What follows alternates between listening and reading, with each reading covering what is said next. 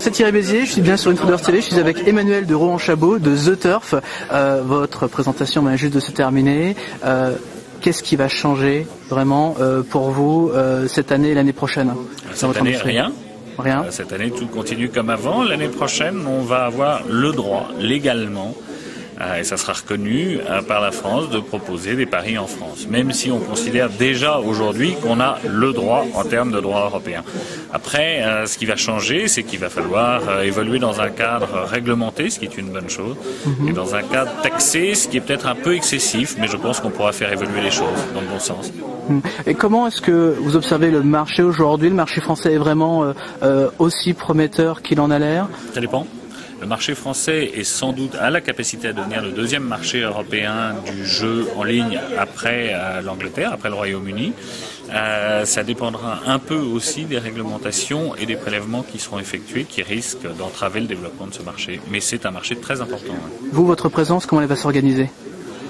Va continuer à faire le métier qu'on fait aujourd'hui, c'est-à-dire proposer aussi, parce qu'on le propose à l'international, mais proposer aussi euh, de parier sur des courses françaises et étrangères à des joueurs français, puis développer une activité de paris sportif plus importante que celle que nous n'avons aujourd'hui.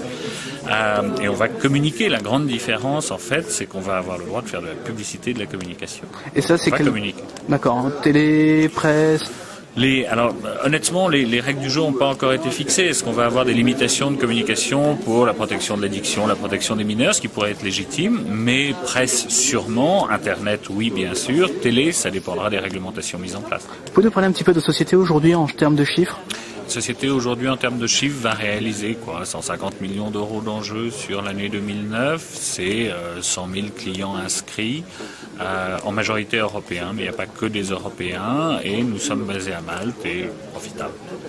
Hmm. Fantastique. Et euh, vous aujourd'hui, vous, vous avez déjà des objectifs pour l'année prochaine? Vous Ah oui, comment vous clair. travaillez là-dessus? Non, non, mais c'est clair, il est évident que les objectifs pour l'année prochaine sont de changer fortement le rythme de croissance sur le marché français.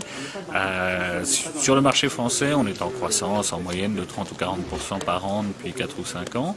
Il est évident que l'objectif avec une rupture euh, réglementaire de ce type-là est de passer à une croissance à trois chiffres, en tout cas sur l'année 2010.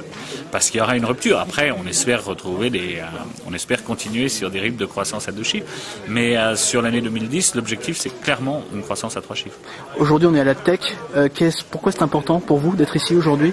C'est pour sentir un peu qui sont les acteurs, qui sont les annonceurs, qui sont les supports, qui sont les gens intéressés par ce métier. On est quand même, on fait partie d'un métier technique et dans lequel on a besoin de faire de la publicité, donc on est en plein dedans. Est-ce que vous sentez que vous êtes vraiment attendu ici?